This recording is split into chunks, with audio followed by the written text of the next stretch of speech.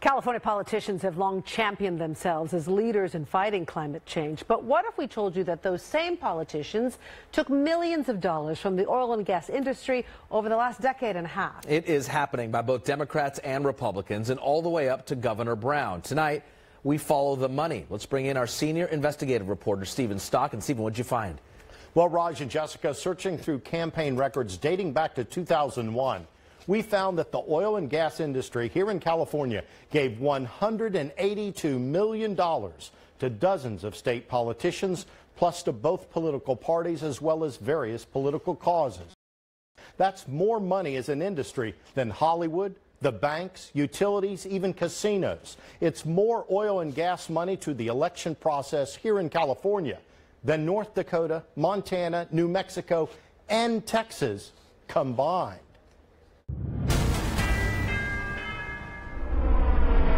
An alliance dedicated to economic growth. We will stand united in advancing improvements in efficiency. This summit is advancing the cause. We really need our elected officials to stand up. Contra Costa resident Penny Opal Plant says all the talk and environmentally green images coming out of Sacramento obscure the real role the oil and gas industry plays here in state politics. Most people don't know how much money politicians are accepting from the fossil fuel lobby. Plant participated in protests during the recent Global Climate Change Summit in San Francisco. It's a powerful lobby. You know, they've got the big money to be able to do that. We don't. And oil companies are among the top interest groups in California. Daniel Newman founded MapLight, a nonpartisan group based in Berkeley that tracks money in politics. Newman says Penny Opal Plant has a point. These companies have enormous influence in deciding what laws get made. That's contrary to ordinary voters like you and me. With the help of MapLight data analysts, we tracked direct campaign contributions dating back to 2001 through June 30th of this year. We found $182 million, which ranked California at the top of states where oil and gas political donations play a role. Of that 182 million, our analysis shows 112 million went to support or defeat various ballot measures. Another 61 million went to political action committees and the state Democratic and Republican parties. We don't have as much voice as interest groups like oil companies who give of dollars a year. That 182 million puts oil and gas in the top 8 of all industry and special interest givers here in California, and it's more oil and gas money given to political causes in California than North Dakota, Montana, New Mexico, and Texas combined, all according to the National Institute on Money and Politics. That's a lot of money. Is that an inordinate amount of power here in Sacramento? No, I think it's absolutely the political process we live in. Catherine Reheis Boyd serves as president of the Western States Petroleum Association, representing all the major oil and gas companies in Arizona, California, Nevada, Oregon, and Washington. I would say we've made great progress with being able to have a seat at the table with the environmentalists. Reheis Boyd makes no apologies for the industry contributing to political causes and to candidates that it feels will best represent its interest. Does the oil industry have Jerry Brown's ear? Yeah, I think so. I think it would be fair to say we are able to have a good conversation with the administration and with the agencies within it. The real challenge is the consumption of oil, which has gone up.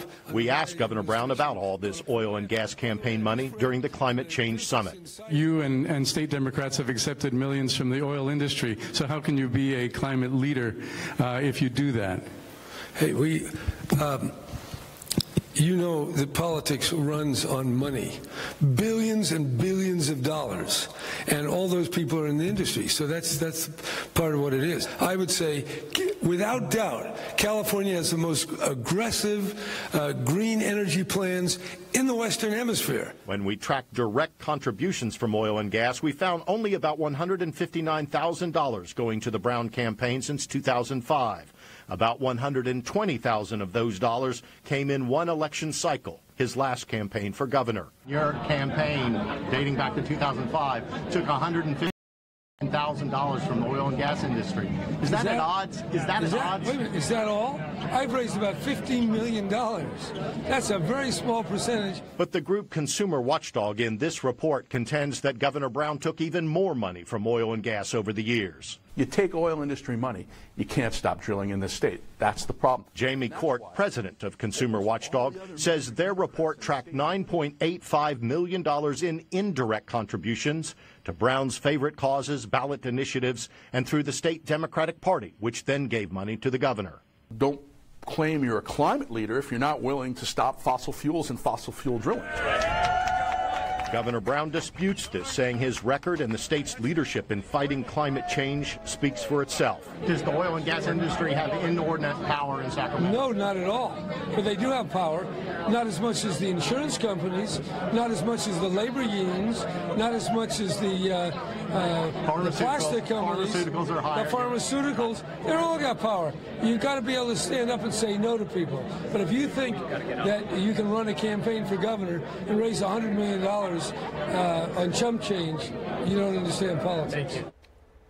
Despite a very public battle with the Trump administration over oil drilling in federal waters off the California coast, Governor Brown's critics, like Jamie Court, say the state has nearly three times as many, more than 1,400 offshore wells in state controlled waters, and that the state has issued more than 20,000 new oil drilling permits on land here in California while Governor Brown has been in office. We will miss his candor. That's one thing for Absolutely. sure when he leaves He office. tells it like it is. Uh, money in politics. Thank you, Stephen. Yeah. If you have a tip for Stephen Stock or anyone else in our